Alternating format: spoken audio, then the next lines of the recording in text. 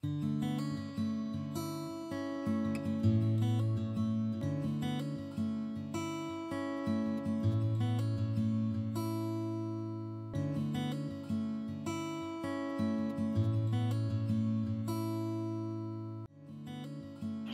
we are at the West Gate, the largest still standing medieval gateway in England.